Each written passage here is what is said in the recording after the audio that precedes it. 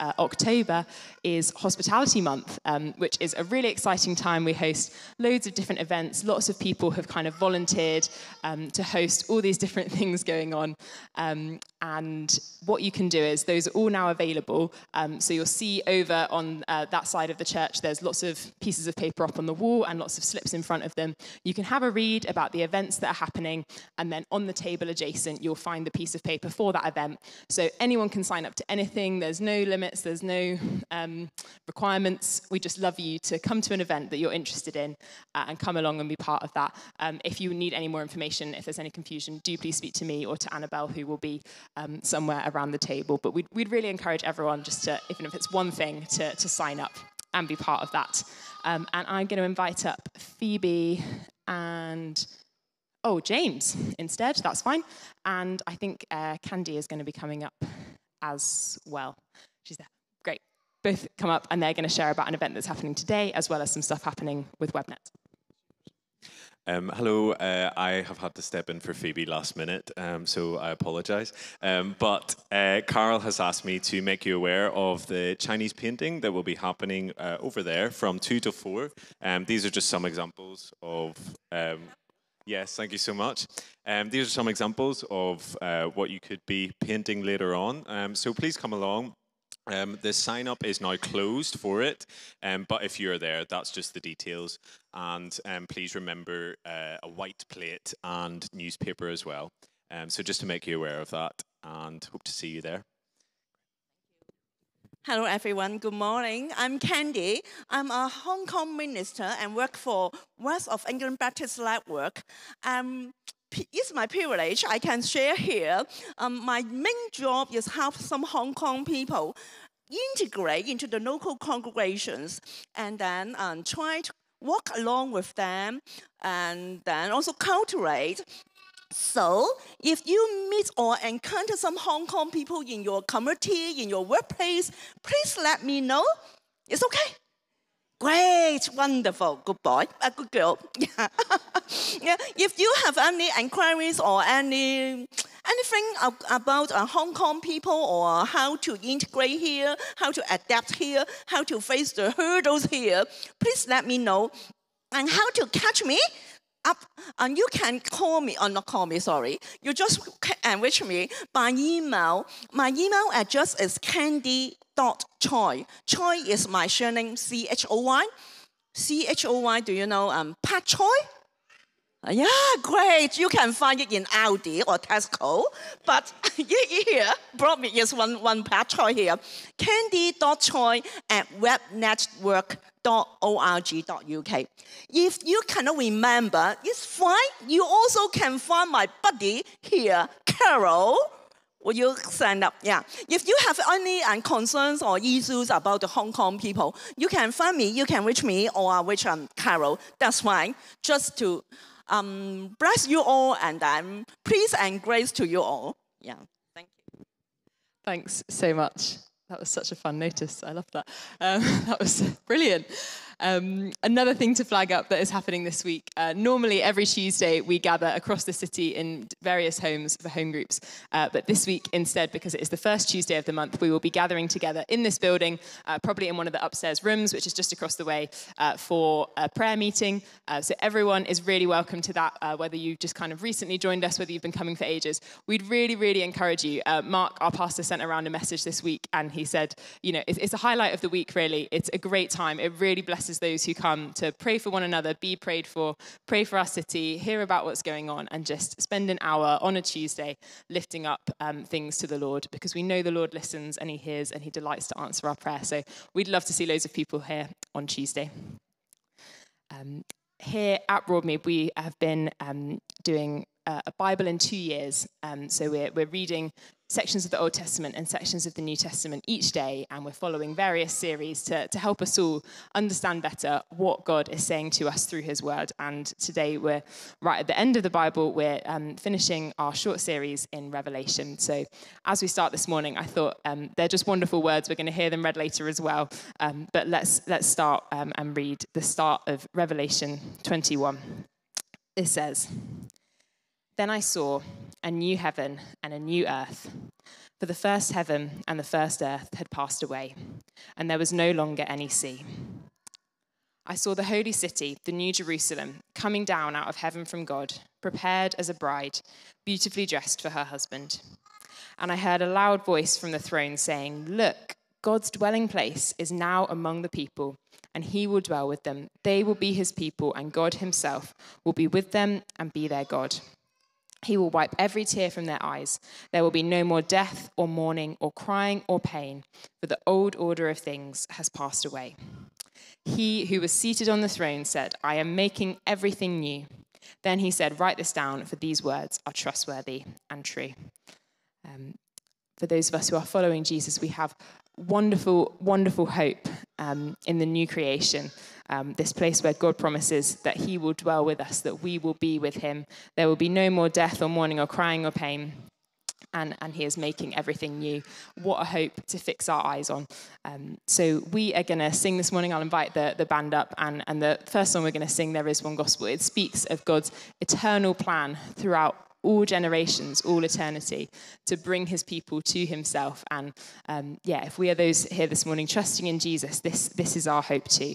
Um, so I'd invite you to stand as we sing together now that there is one gospel.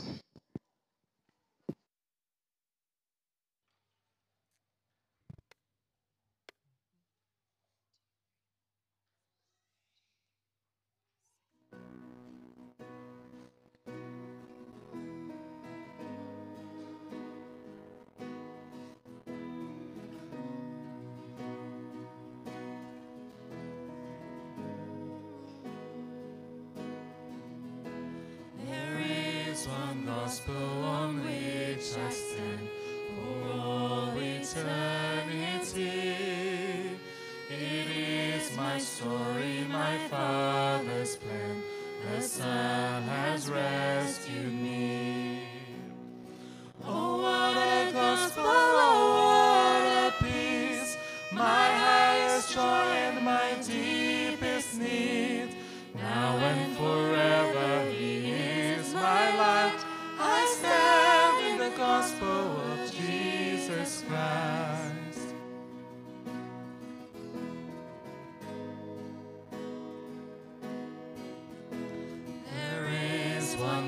gospel through which I cling, all else I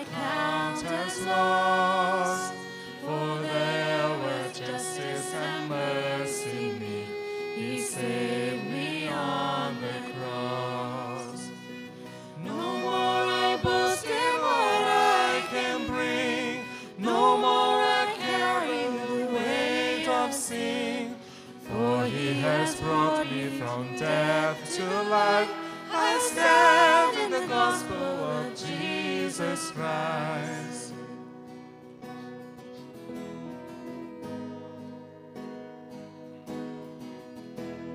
There is one gospel where hope is found.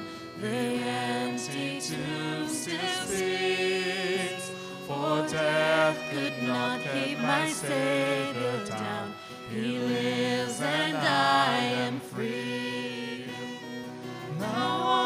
Savior, I fix my eyes. My life is His and His hope is mine. For He has promised I too will rise. I stand in the gospel of Jesus Christ.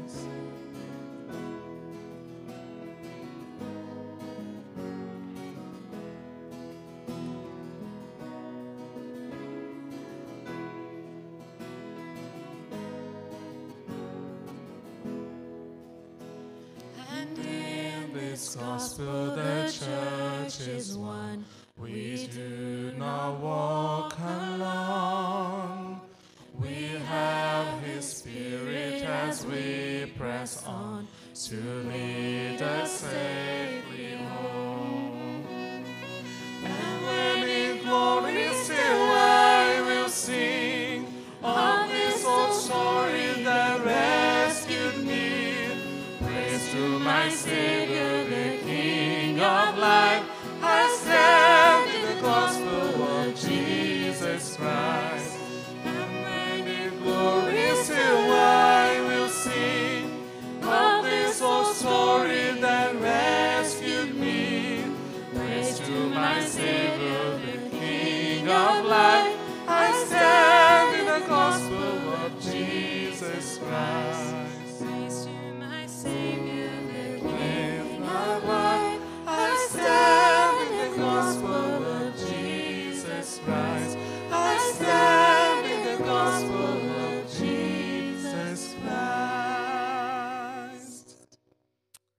Jesus, we praise you that we have your wonderful gospel to stand in. We praise you that you are the King of life, um, that we, we aren't alone because of you, um, and that we have that wonderful day in glory to look forward to, where we will sing of you who has rescued us, Lord. We thank you and praise you for that, Father. Amen. Uh, do please take your seats. We have one more announcement this morning um, before uh, we head on to our baptism. So I'm going to invite Lucy up. She's there um, to tell us a bit about the publicity team.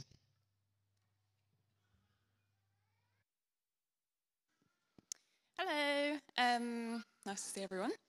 I'm Lucy, if you don't know me, and I'm part of the publicity team that we have here at Broadmead. Um, and we would love someone new to join us to help us with updating the church website. Um, so we just update it every week with the Bible readings for that week while we're doing the Bible in two years plan. Um, so yeah, they just need to go on the website. Now you might be thinking, oh, I don't know how to build a website. I'm not like a computer expert. Totally fine. Um, because the website's already built. So all you need to do is basically go on there, edit the text, and then press done, and that's it. Um, so if you're interested in helping out, then please come and chat to me today or anytime, and that'd be great. Thank you. Thanks, Lucy. I'm now going to hand over to John um, for the baptism. Thanks so much, Ellie. Um, I'm John, and I'm one of the pastors here. I'd love to invite Dan up. Um, today's a really special day because today's the day in which we're, we're welcoming Dan into the church family. Um, he's getting baptized. Um, and I'm going to explain a bit more about what baptism is, but first, it'd be great to hear Dan's story. So, Dan, tell us your story. Sweet, thanks, John. Um, and thanks everyone for being here this morning, um, particularly some friends who've come from a long way away. So, yeah, nice to see you all as well. So, about me, so I was born into a Christian family. Um, I grew up attending church every week. Um, I got involved with the church as a teenager, um, playing the guitar, doing the tech team, doing some of the youth groups. Um, I attended a lot of Christian camps throughout my childhood. Um, so, such as at my church with the youth group, we had a thing called Discovery Camp. Um, went to Contagious, which some people here will know, and some of the Scripture Union sailing holidays that I do as well. Thanks, Ed. He's my representative today. Yeah, Kestrels and Harrows, they're called. Throughout all these camps, I can recall kind of multiple times where um, I'd be on the camp and just have a, a really great buzz about things and wanting to commit my life to Jesus. But then, kind of within about a month of leaving the camp, um, that feeling had kind of gone. And that was kind of the story throughout most of my teenage years. I kind of go up and down, up and down almost every year. Um, as I got into kind of towards my later teenage years, um, started enjoying things that would take me further from God. And to the point when I went to university in Southampton, um, I kind of thought, okay, this is my chance to leave church and do whatever I want to do. That didn't last very long. Um, within about a month, I found myself wanting to go back to church, um, and I settled at a church called Above Bar. Um, I was still quite intermittent with going in the first year, but um, second year kind of got in a good routine and got going. Um, I got involved in a home group there, which was really useful and began to build a picture of what my faith might look like.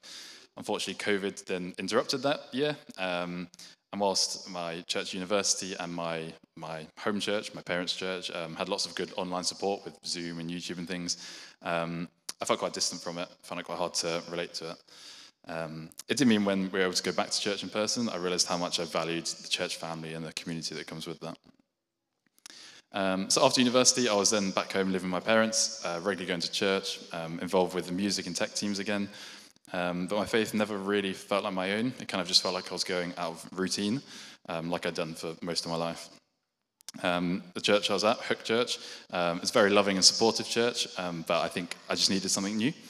And after not long after thinking that, really, um, I found out I got a job at Dyson, and I was going to be moving across over here to Bristol.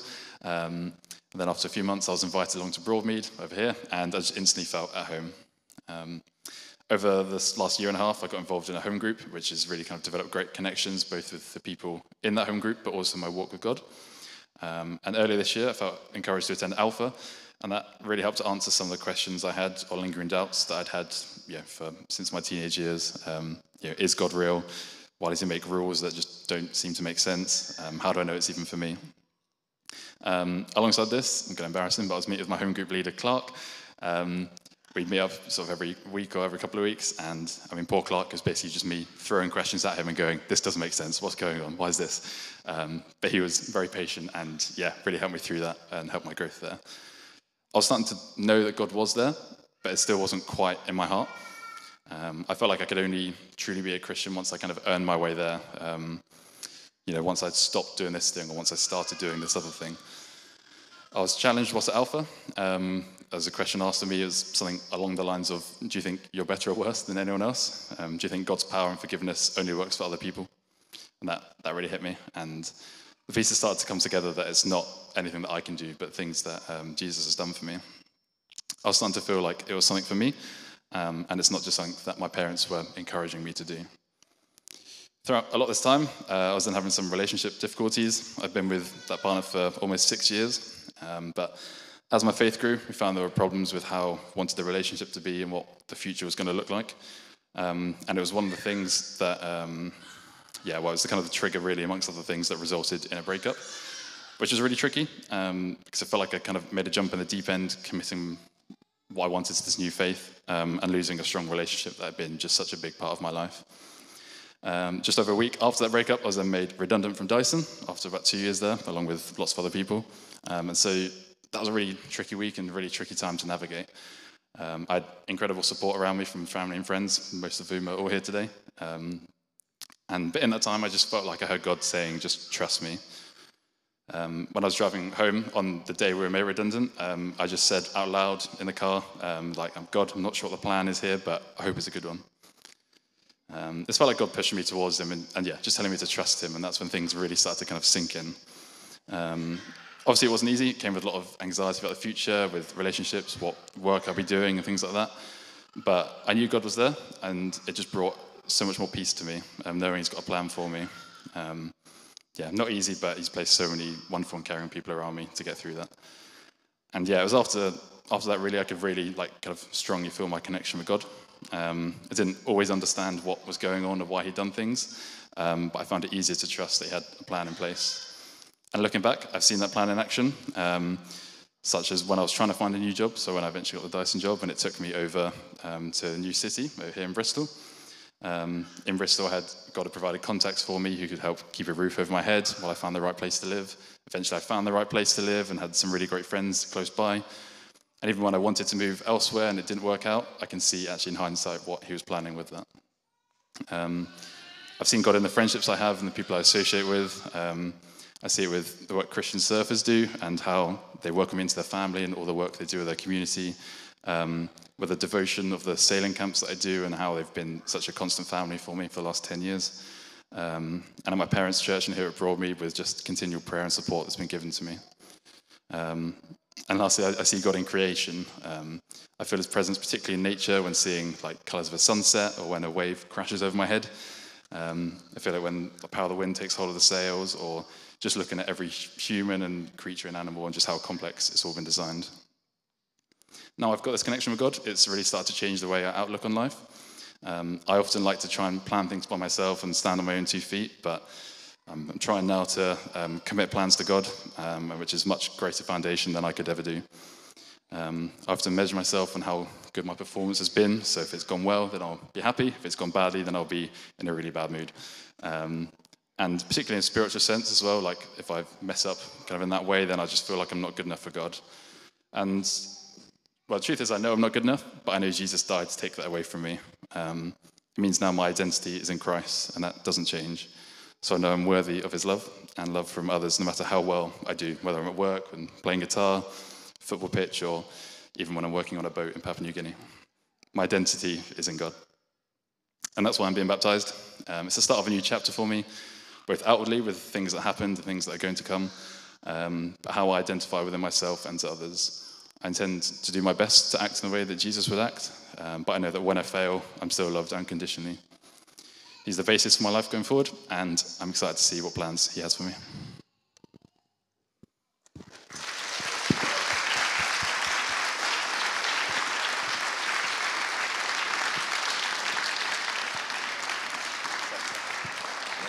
Uh, thank you so much. That's such an encouragement to hear that story, and we've been massively blessed by seeing the change in your life and seeing how God's brought you through, particularly this difficult last kind of time. Um, we'd like to give you this book, Enjoying God, and this verse Give thanks to the Lord, for he is good, his love endures forever. Thank you. Um, and in a moment, we're going to baptize Dan, which, um, for those of you who, who haven't done this before, haven't seen this before, it basically involves taking him and plunging him underwater. Okay? Um, so uh, he's going to be completely under. And there's nothing special about the water, it's not kind of this mystical substance. Um, and it's not like a magic ritual, but something very powerful is happening when we do that. Because Dan is publicly saying yes to what God has done in his life, what he is doing in his life, and what he will do in his life in the future. And he's publicly saying that he wants to join in with what's going on with Christ and Christ's work in the church. He's saying that very publicly, as, as you just heard, but also the church, we together, are publicly saying yes to what God has done in his life. We're excited at the change we've seen in Dan, and we want to say, yeah, this isn't just in your head, Dan, actually. Um, something's happened here. Um, something exciting um, is going on. And we do that as a local church, but we also do it representing the global church. We're part of this community that spans the earth and goes back thousands of years. And what we're doing is saying something has happened here in Dan's life. He's become a new creation. And what we're doing is publicly testifying to that. We're saying yes. And there's spiritual power in that. So we're all just saying yes to what God's done, basically, and, and turning to, to Him. Why don't we just do a handshake? Why are we dipping him in water? What's the point of that? Um, well, it's a powerful enactment of what has happened and of what we're saying yes to. It's about being united with Christ. Jesus Christ died. And as we put Dan under the water, it's a picture of burial, of death. And, and Dan is saying, I identify with Jesus who died. And as we pull him up, Jesus Christ rose from the dead. We are here because we are convinced that that is true. We know it's true. And Dan, as he comes up, is saying, identify with Jesus Christ in his resurrection. And it also symbolizes Dan's change. It's not just that Jesus died and Jesus rose again, but also that Dan, in a sense, has died. In being baptized, he's saying, I turn away from an old way of life, a way of being that didn't acknowledge God, that didn't have him as Lord. That part of him is dying under the water. And there's also new life in Dan. As he gets pulled out of the water, it's an image of resurrection, of new hope, of this new start that he's been talking about. That's what it's about. It's death and resurrection. But it's also an image of washing. So, this image of washing of sins, of being cleansed and purified because of what Jesus has done. It's a picture of being filled with the Holy Spirit. So he's going to be completely underwater. He's going to have water all around him. He's going to be drenched. That's what, that's what it's like to be a Christian, is to be filled with God, drenched with the Holy Spirit. And it's also uh, an image of creation, new creation. In creation, God divided the waters, and Dan will be kind of passing through the waters. He, he is a new creation.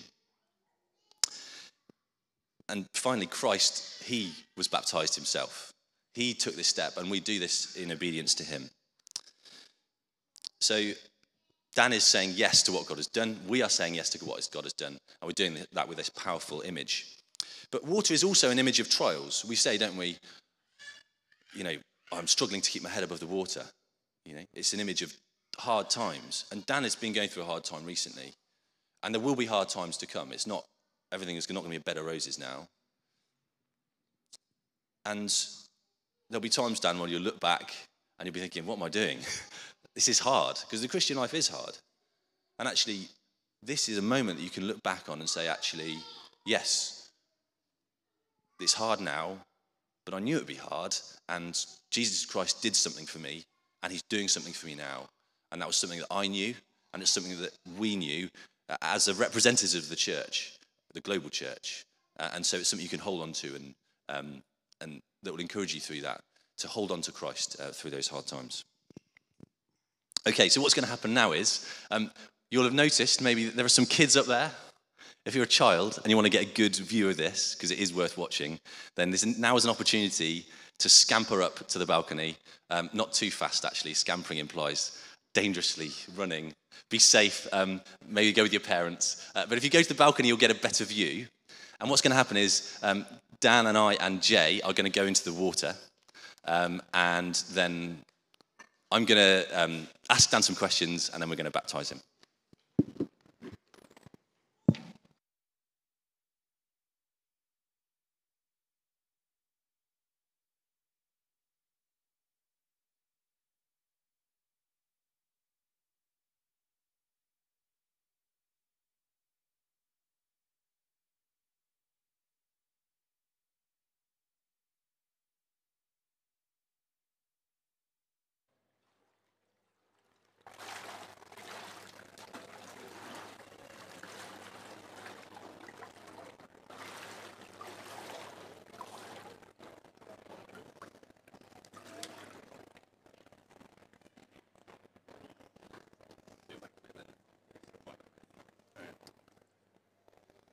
The stream of kids is still going up, so talk amongst yourselves.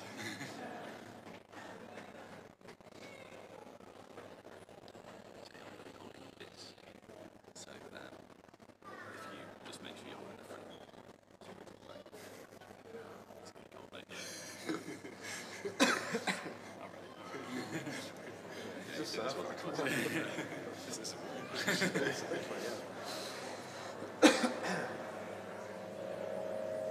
Okay, here we go. Do you believe in one God, Father, Son, and Holy Spirit? I do. Do you confess Jesus Christ as your Lord and Saviour? I do. Do you turn from sin, renounce evil, and commit to follow Christ? I do. Will you live within the fellowship of the church? And will you serve Jesus Christ in the world? I will. I baptize you in the name of the Father, the Spirit, and the Son.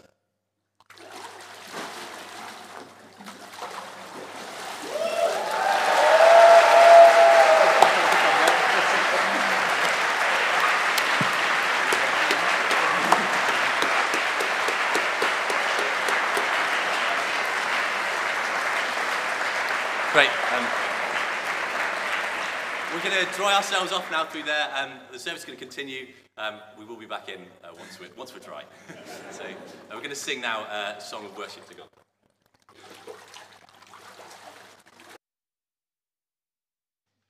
Do please stand um, and yeah, let's sing and um, yeah, celebrate and praise.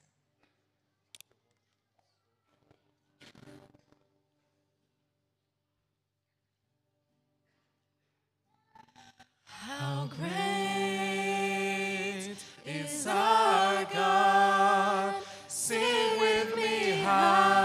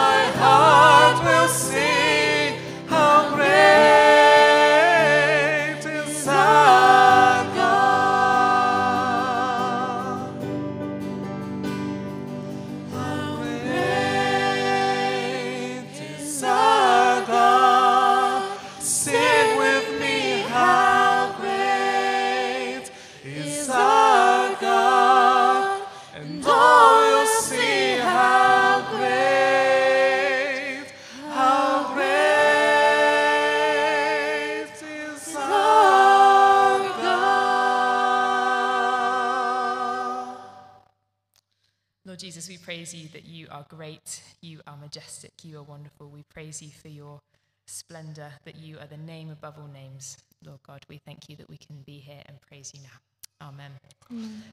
Do please take your seats. This is the time in our service where our children and young people head out to their groups. So there's a few different things happening today. So uh, Connect are going to stay in the service with us, um, which is great. And then at the end of the sermon, they'll kind of go out to their usual um, room that they do for their kind of Q and A to, to talk about the sermon. So uh, do please stay with us, Connect. It's great to have you with us. Our other children um, and young people, so our youngest groups, we have a, a creche and then sparklers um, for sort of twos, threes, and fours before school age um, out this side um, through. It looks like a fire exit, but it's not. There's some really lovely kids' rooms that um, lie just behind those doors. Um, and then our school age children um, will be uh, upstairs. Um, through into those rooms. If you are new and you have uh, young people with you, you are more than welcome for them to join in our groups, whatever age they're at. Yeah, we'd really uh, love to have them with us. So do kind of uh, follow the crowd who are going out in various different ways. Um, I'll just pray for our, our children and young people as they're leaving us now. Our Father God, we thank you so much um, that we are our one family, Lord. We thank you that, um, yeah, however old or young we are, uh, that we can know you, God. We thank you that um, from the moment each of us was born, that you have known us and loved us. And we pray for our children now, help them to have a great time in their groups, and we pray that they will know more of Jesus um, in each of their sessions, Lord. And we pray for their safety, um, and we pray this in your name, Lord. Amen. Great. I'm now going to invite uh, Olive, who is going to come and pray for us and lead us in a time of prayer.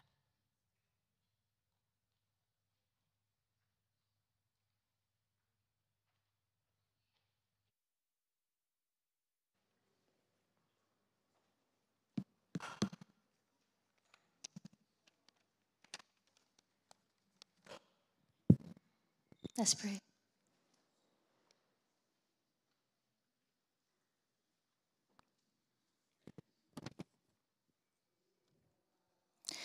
Dear Heavenly Father, thank you for the opportunity to worship and to praise you. We thank you for your grace and love over the past week, and we thank you for your protection and guidance in our family, at our workplace, and at school.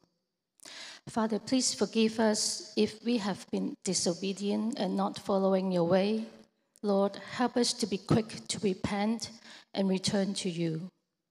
We pray that through the two year Bible reading plan, we will be more connected to you and know you deeper, that we will be able to persevere and endure in times of this chaotic period until your return.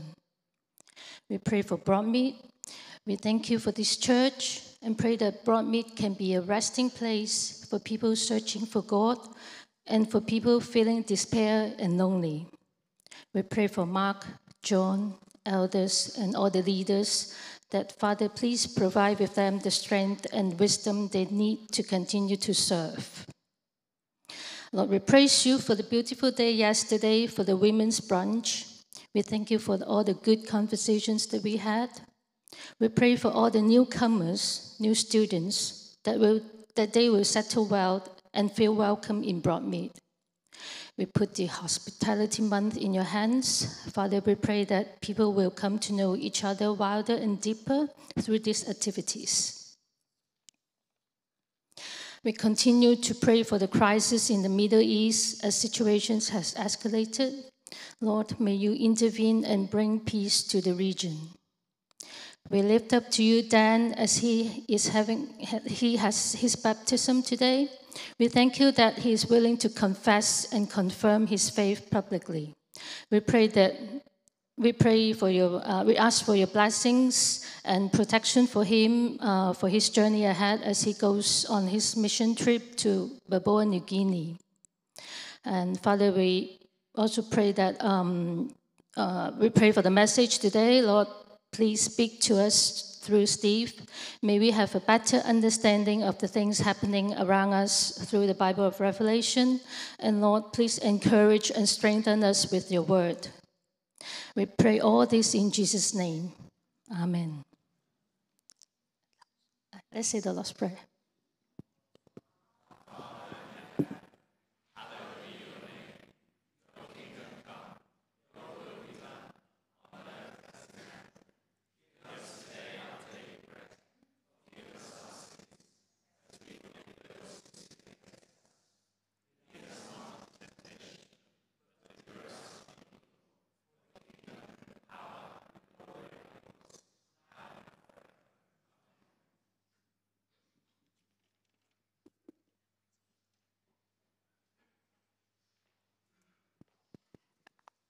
We're now going to have our reading, which this morning is uh, starting in Revelation chapter 21. So there'll be some Pew Bibles around, um, or it will be all up on the screen behind me as well. Um, so do follow along, whether it's on, on your phone or uh, in a Bible or on the screen above me. That's Revelation 21. Then I saw a new heaven and a new earth. For the first heaven and the first earth had passed away, and there was no longer any sea. I saw the holy city, the new Jerusalem, coming down out of heaven from God, prepared as a bride, beautifully dressed for her husband. And I heard a loud voice from the throne saying, Look, God's dwelling place is now among the people, and he will dwell with them. They will be his people, and God himself will be with them and be their God. He will wipe every tear from their eyes. There will be no more death, or mourning, or crying, or pain, for the old order of things has passed away. He who was seated on the throne said, I am making everything new. Then he said, Write this down, for these words are trustworthy and true. He said to me, It is done. I am the Alpha and the Omega, the beginning and the end. To the thirsty, I will give water without cost from the spring of the water of life. Those who are victorious will inherit all this, and I will be their God, and they will be my children. But the cowardly, the unbelieving, the vile, the murderers, the sexually immoral, those who practice magic arts, the idolaters, and all liars, they will be consigned to the fiery lake of burning sulfur. This is the second death.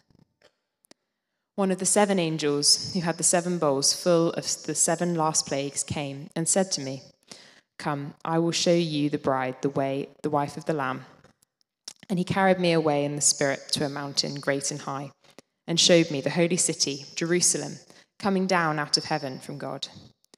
It shone with the glory of God, and its brilliance was like that of a very precious jewel, like a jasper clear as crystal. It had a great high wall with 12 gates, and with 12 angels at the gates. On the gates were written the names of the 12 tribes of Israel. There were three gates on the east, three on the north, three on the south, and three on the west. The wall of the city had 12 foundations, and on them were the names of the 12 apostles of the Lamb. The angel who talked with me had a measuring rod of gold to measure the city, its gates, and its walls. The city was laid out like a square, as long as it was wide. He measured the city with the rod and found it to be 12,000 stadia in length, and as wide and high as it is long. The angel measured the wall using cuma measurement, and it was 144 cubits thick. The wall was made of jasper, and the city of pure gold, as pure as glass. The foundations of the city walls were decorated with every kind of precious stone. The first foundation was jasper, the second sapphire, the third agate, the fourth emerald, the fifth onyx, the sixth ruby, the seventh chrysolite, the eighth beryl, the ninth topaz, the tenth turquoise, and the eleventh jacinth, and the twelfth amethyst. The twelve gates were twelve pearls, each gate made of a single pearl. The great street of the city was of gold, as pure as transparent glass. I did not see a temple in the city, because the Lord God Almighty and the Lamb are its temple. The city does not need the sun or the moon to shine on it, for the glory of God gives it light, and the Lamb is its lamp. The nations will walk by its light, and the kings of the earth will bring their splendor into it. On no day will its gates ever be shut, for there will be no night there. The glory and honor of the nations will be brought into it. Nothing impure will ever enter it, nor will anyone who does what is shameful or deceitful but only those whose names are written in the Lamb's book of life.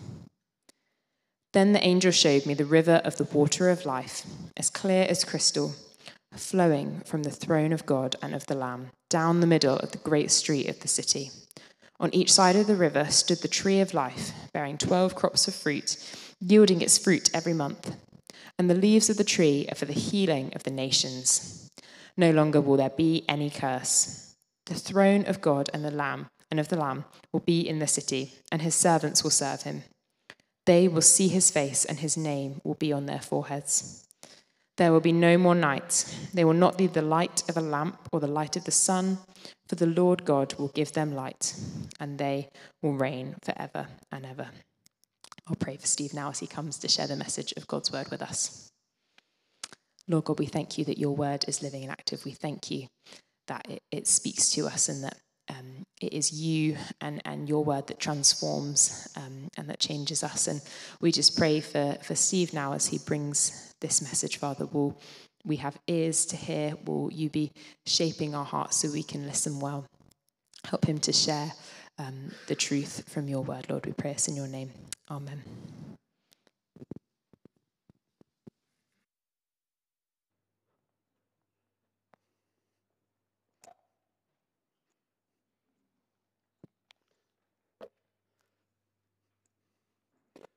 Morning, morning, everyone.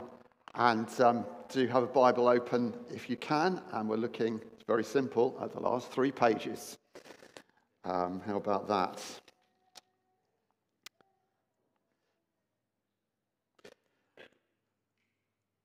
I want you to imagine your all time favorite holiday destination. Or, or, if that's too difficult, just the favorite, your favorite place that you've ever been, that you've ever lived. Uh, it could be anywhere. Are you thinking of it? Picture it in your minds. Might be a British beach like the one that's about to appear, hopefully. Mewslade, my favourite beach in the Gower. Fantastic, great surfing beach. Dan might be interested in that. Um, I love this beach so much that I even have it on a t shirt.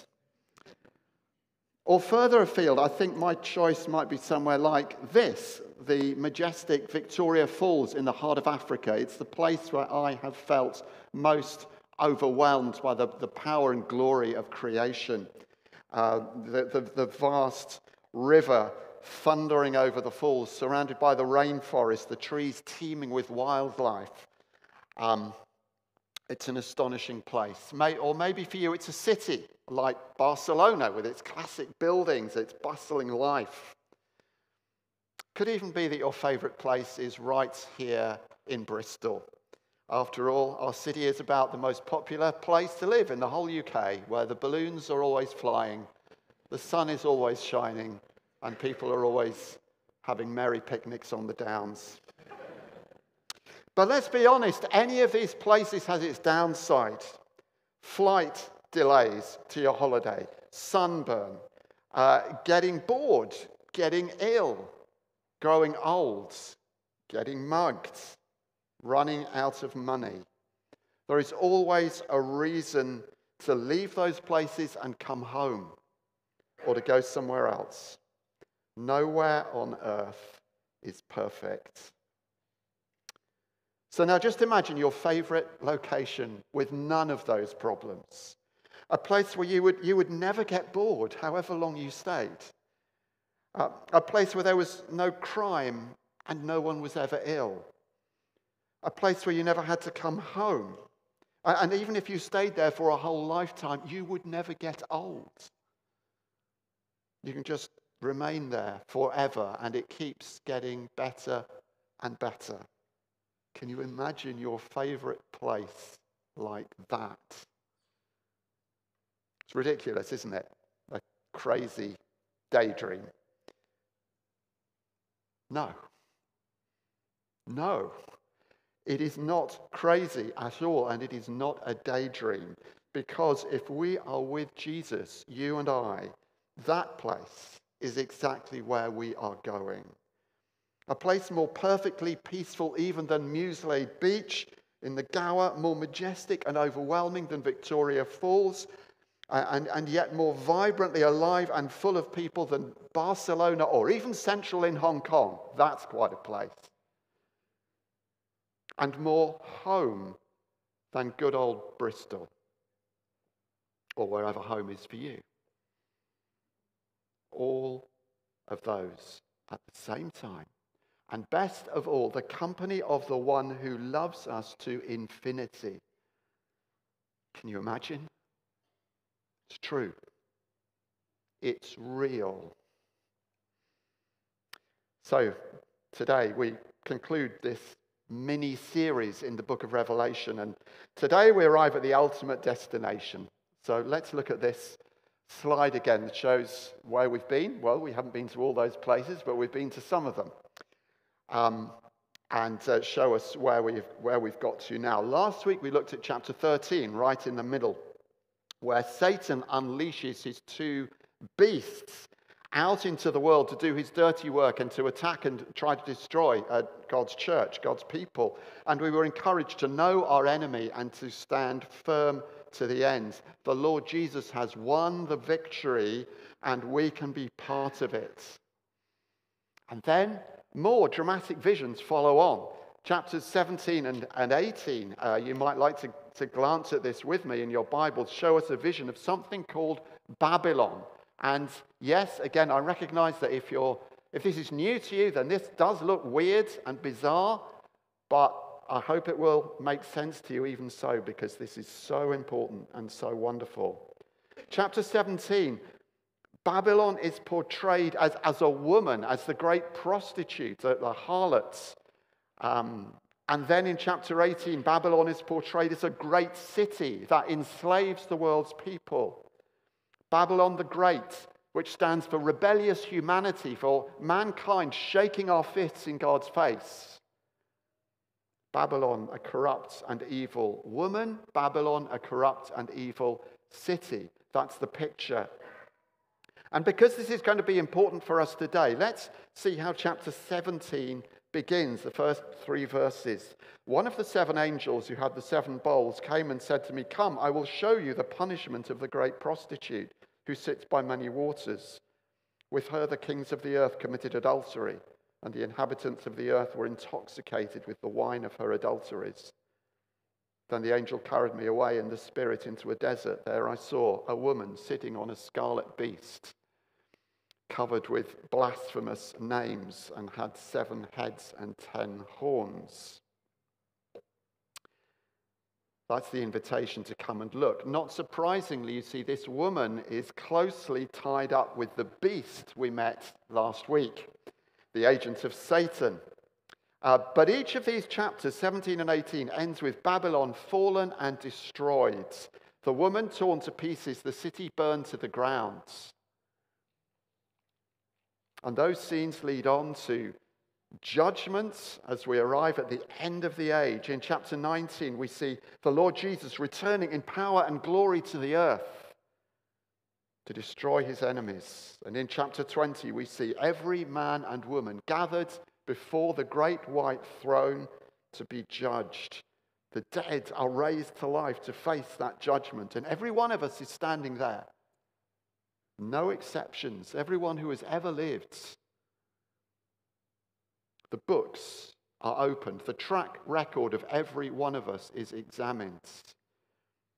And on the face of that, on the face of that evidence, every one of us would be condemned, condemned eternally. But there is another book too, and that is opened. And this book is the book of life.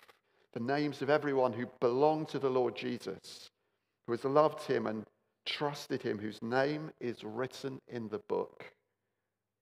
Your name, my name, if we know him.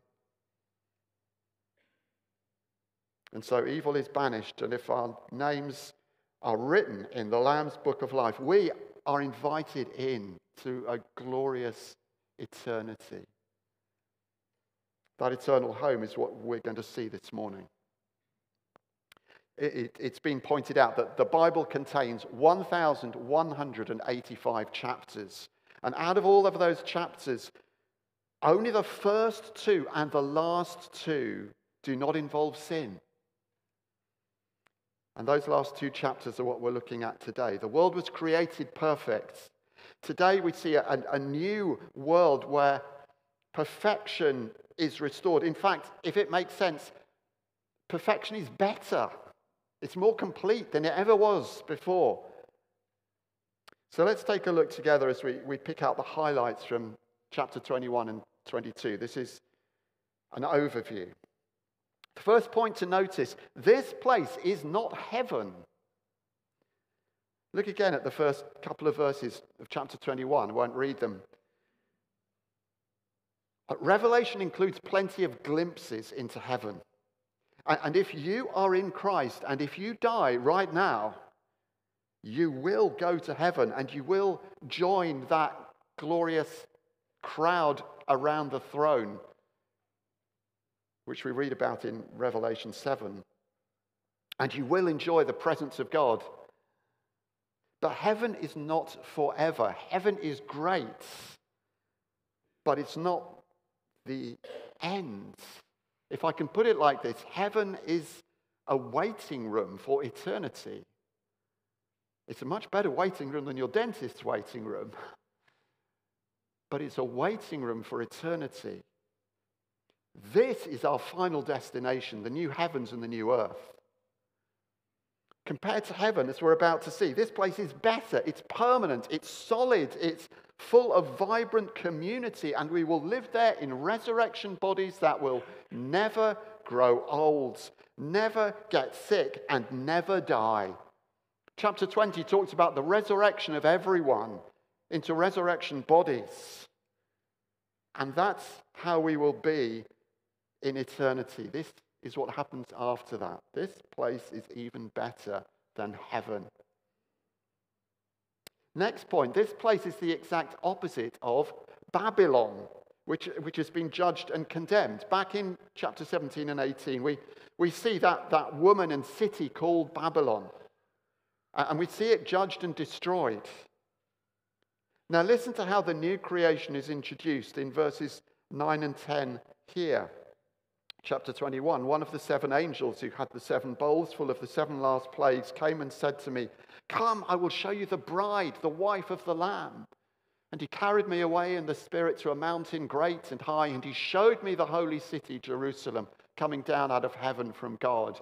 If you listen carefully to chapter 17, you, you will recognize that that is an exact parallel to the way that Babylon is introduced there, and that's deliberate because these two are opposites. The woman and the city that is Babylon, and the woman and the city who are the New Jerusalem and the bride of Christ.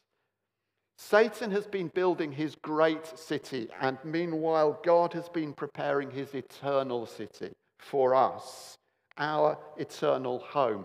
Babylon has fallen, the heavenly city endures forever. And the New Jerusalem is everything that Babylon is not. For a start, the heavenly city is astonishingly beautiful. Verse 2 again. She's like a beautiful bride, beautifully dressed. Again, the opposite of the, the scarlet woman, Babylon.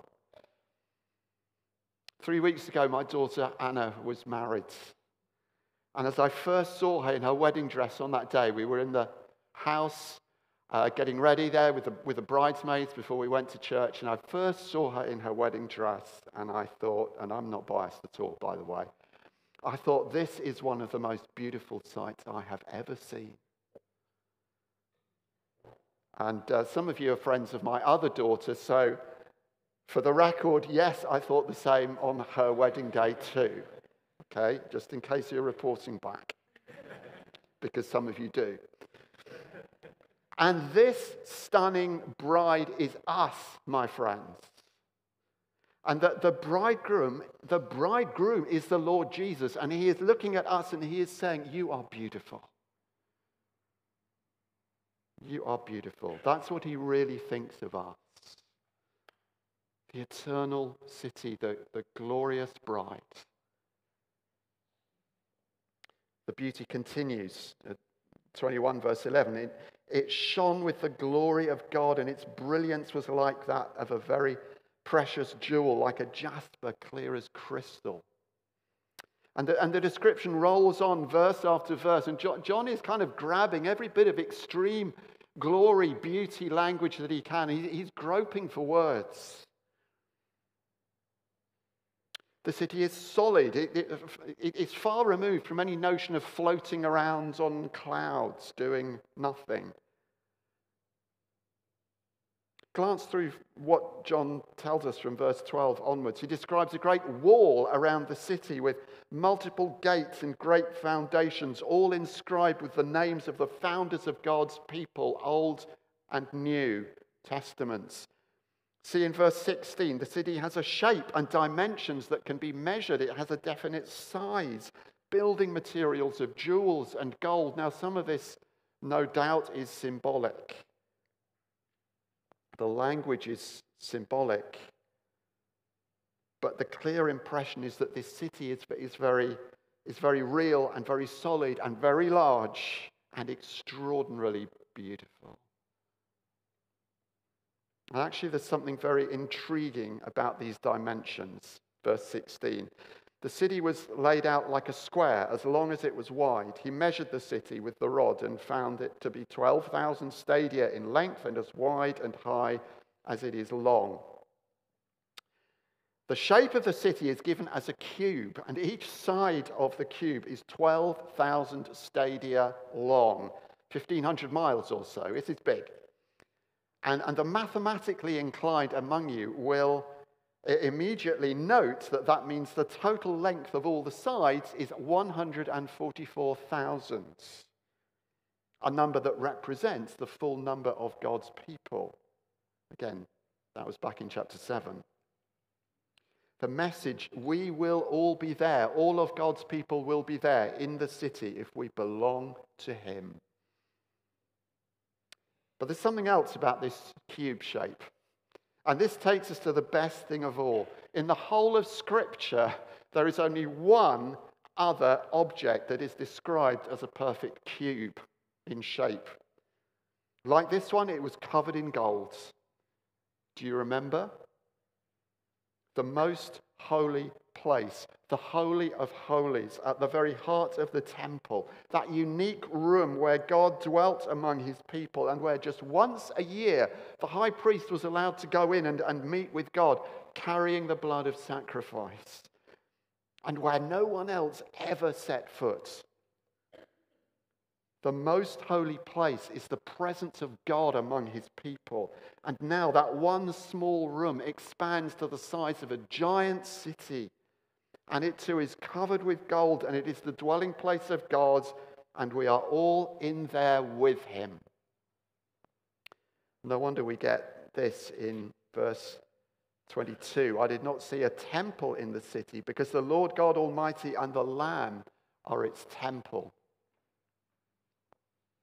No, you would look in vain for a temple because when God is everywhere and fellowship with Him is perfect, you don't need a temple. He is it. This is the ultimate fulfillment of those Old Testament constructions, the tabernacle and the temple. It was all pointing to this. And so, what will it be like living there with Him? Jump back to verses 3 and 4. And I heard a loud voice from the throne saying, Look, God's dwelling place is now among the, the people. He will dwell with them, they will be his people. God himself will be with them and be their God. He will wipe every tear from their eyes. There will be no more death, or mourning, or crying, or pain, for the old order of things has passed away. Pause and dwell on those verses for a moment. The negatives first the horrible things that won't be there death, mourning, crying, pain, the cancer diagnosis, the arthritis, the bereavements, the awfulness, the grimness of this life. We soon become familiar with all of those here on earth, but they will no longer be part of our experience. Have you been mourning someone? do you know about living with pain, heartache? If you don't know it yet, you will, as long as we live in this world. But none of those will be there because of the one great and glorious positive, because of the one who will be there, our Lord and our God living among us. What was never possible before because of our sin becomes wonderfully possible and wonderfully real. That's a quick survey. The angel gave John a much better one than that. But we are not there to enjoy this yet. So, what does this mean for us here and now? As we contemplate these closing chapters of Revelation, we're being called to do two things. First, simply, we are called to long for the destination. I mean, don't we long for this? And, and, and so we need to make sure, uh, by the way, we're on the next slide, I think, Eddie. Um, yeah, one after that. No, the one after that. Thanks. Um, we need to make sure we're actually there. There is no sin in the story of these two chapters. True. But in each chapter, there is a brief reminder that not everyone will be in this city. Far from it, in fact. Because if we, if we do not know Jesus Christ, if our name is, is not in the book of life, then we are not in this picture. If that's you, your, your destination is not the eternal city, it is outside, it is excluded forever. And so, if, if you're not a Christian, maybe you're, you're new to this, maybe you're not used to church, maybe you're not used to the Bible, okay, but please hear this. Make sure that this beautiful city is where you're going. Make your peace with God through Jesus Christ so that you too can be part of this wonderful eternity. What baptism acted out with Dan just now is it, it, the meaning of that is that Jesus died and, and to forgive us our sins, to, to offer us new life. A new life, just like coming up out of the water, just like coming out to a resurrection. That's the life that he offers us. And we all need that and we can all have that. Make sure that is you so that this future will be yours too. We'd love to help you come into that relationship with God. We'd love to talk to you about that if you don't know Him yet. So, who is this city for in Revelation language? Look at verses 6 and 7. He said to me, It is done. I am the Alpha and the Omega, the beginning and the end. To the thirsty, I will give water without cost from the spring of the water of life. Those who are victorious will inherit all this, and I will be their God, and they will be my children. This city is for the victorious. Remember the overarching theme of this book Jesus wins, and we win with him. The victorious, the overcomer, that, that word that appears at, at, in each of the, the seven letters. Um, the, the letter to the seven churches at the start of the book. Remember, we looked at that two weeks ago.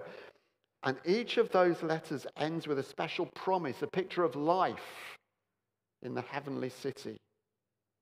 For the one who makes it through to the end. And if we know him, we will, and we do make it through to the end.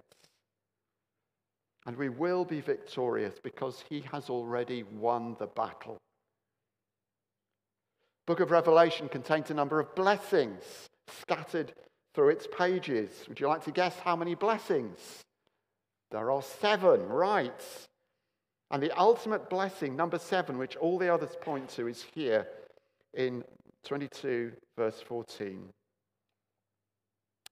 Blessed are those who wash their robes that they may have the right to the tree of life and may go through the gates into the city. Washing your robes, again, sounds weird, but it means being forgiven, made clean through the blood of Jesus who died for us. And the ultimate blessing there could be is access to the heavenly city, to go in through the gates and join in its life. What will that life be like? Just look again, verses 23 to 26 of, 20, of chapter 21, the end of that chapter. It's a picture of movement, it's a picture of activity, a creativity. The glory and honor of the nations will be brought into it. It seems the best of human life in this age will reappear in the eternal city. It will be purified and redeemed and made perfect so that it can be offered back to God who gave it in the first place. Art, literature, music, creativity, discovery. What was done for the glory of God will be seen in eternity, perfected as we will be perfected, to be enjoyed forever. And no doubt we will add to it year by year by passing century. This is not going to be some dull, flat, monotonous existence. This is going to be life, life to the full. Don't we long for this? And in this city, we will live perfectly forever. Look at the opening of chapter 22 again. So many biblical themes and plots reappearing and coming to fruition. We're back in the Garden of Eden where it all started with the tree of life. What Adam and Eve lost through their sin, we get back. We will have, but it's not just one tree, it's a whole avenue of the tree of life with this water of life flowing through the middle, the great street in the city, clearer and fresher than any stream on earth. And the curse of sin and banishment is reversed. Adam and Eve were thrown out of the garden. We are welcomed in by God's open arms. Don't you long for this? And we will see his face. Simply not possible before this. There's no way that sinners like us can look on the face of a holy God and live. But we won't be sinners anymore. Perfect fellowship with God. Do you notice what the Lord Jesus is called all through this section? This is eternity we're looking at, and still he is referred to as the Lamb. But the Lamb speaks of his sacrifice for us. And yes, that's how we will still know him. A million years from now, surrounded by glory and beauty, we can't begin to imagine the Lamb slain for us. For us, Jesus Christ will always be the Lamb who was slain, whose blood was poured out for us, because he is the only reason we will be there. Not because of any good in us, but only because of him. And in place of the conflicts we know so well in our world, now there will be healing, the healing of the nations. What a vision! Every conflict ended. What a world it will be. Don't we long for this? Brothers and sisters, let's pray that the Lord will make this real to us. Because this is the true reality our promise, our blessing, our destination, a living eternity with the Lord, with the Lamb. Long for the destination. And secondly, listen to the summons. As we move on through chapter 22 and the, the visions come to an end, and John kind of wakes up from what he's been seeing. We hear the words of the Lord Jesus himself. He's given John those visions to pass on to the churches, to pass on to us. But they're not just for our interest and amusement, they're not even just for us to look forward to. No, we still have a job to do. We're still here. And in the closing verses of the book, we hear this, this threefold summons from the Lord. He calls us to believe and to expect and to invite. There's a call to believe. Chapter 22, verse 7. Look, I'm coming soon. Blessed is the one who keeps the words of the prophecy written in the scroll. This, in fact, is, is blessing number six a, a blessing for those who believe and obey this book. Coupled with the warning in the final paragraph not to subtract anything from it, not to add anything to it. This book of Revelation is the Word of God, every bit as much as the rest of the Bible. We shouldn't miss that. However weird Revelation sometimes seems to us, however people have uh, made it say crazy things, this is the Word of God. Think back, if you've been here over the last few weeks, what has the Lord been saying to you? Perhaps He's shown you Himself more clearly than before. that the Lord Jesus, our Savior, the Lamb and the conquering King, perhaps He's helped you to love Him more. But perhaps he's assured you that with him you are on the winning side so that you know you can keep going. This book teaches us so much about God and Christ and the cosmic battle that is raging and our place in it and what we're called to do. So, are we going to believe it so that we can live it? Are we going to obey it? Because there is a blessing if we do. What does that obedience look like? Well, Peter gives us some help here at the end of his second letter. Um, up on the screen, look at uh, 2 Peter chapter 3 and verses 11 to 14. Since everything will be destroyed in this way, what kind of people ought you to be? You ought to live holy and godly lives as you look forward to the day of God and speed its coming. We're looking forward. Yes, he says that.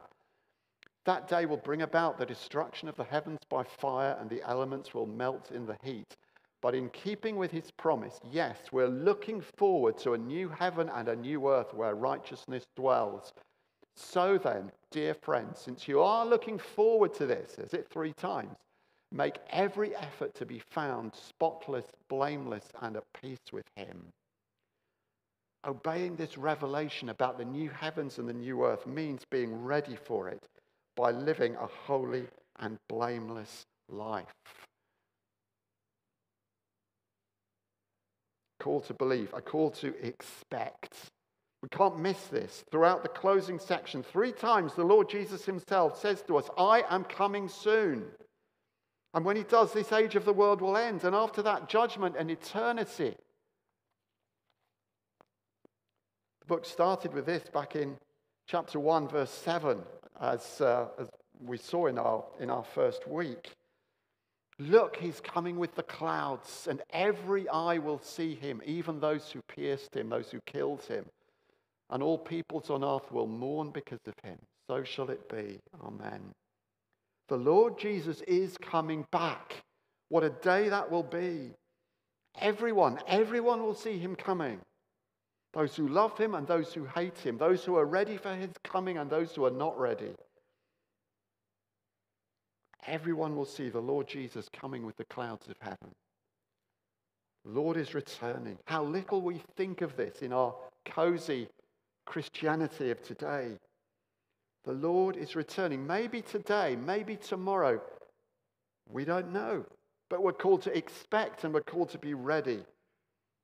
The Lord's return.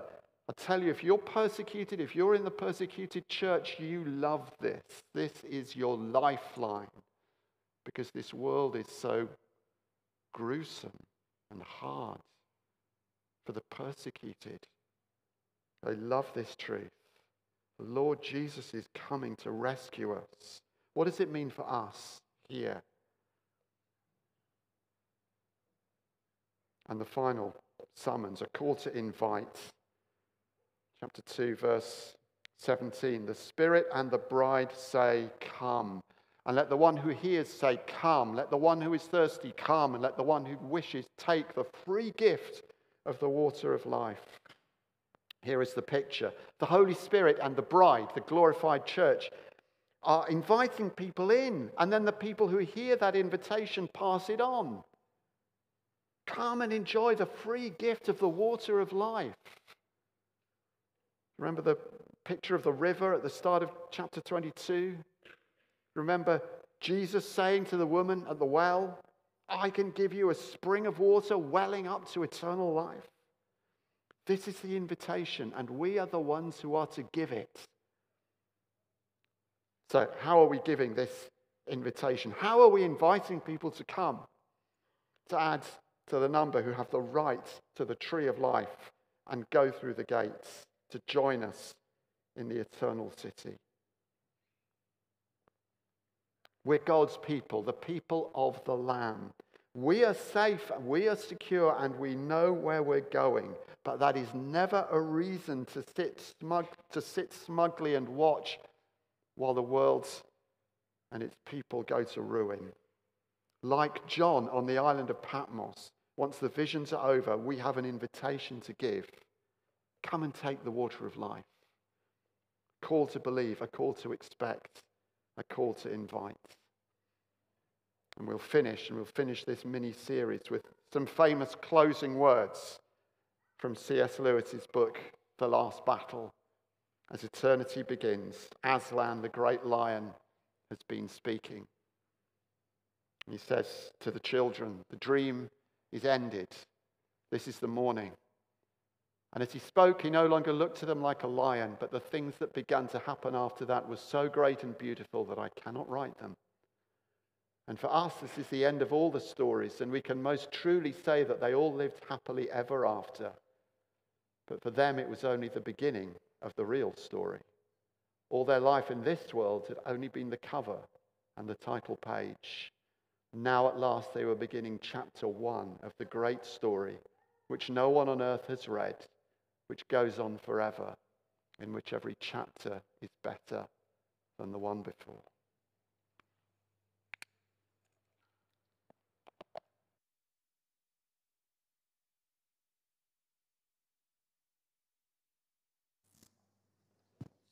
We're going to sing in a moment, but just before you do, I want you to make you aware that Steve has written a book on Revelation. And if you found um, these last couple of weeks to be a real blessing, as I have, then they are over there. Um, if you'd like to pick one up, they're £10. Um, and you can pay, just give a £10 donation to the church. Just pick up the book, £10 donation. Um, and we're going to we're to sing now um, in response to what we've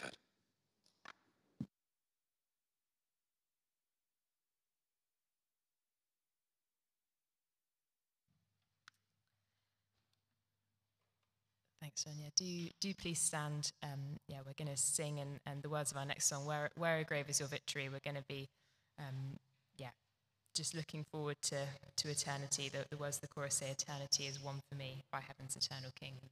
Yeah, but just reflect on on what we've heard from that sermon, and if you would like to to pray with someone, there will be um, a team who are sat in the kind of back corner. So if there's anything you'd like um, to bring in prayer, we'd really encourage you to do that. So let's sing.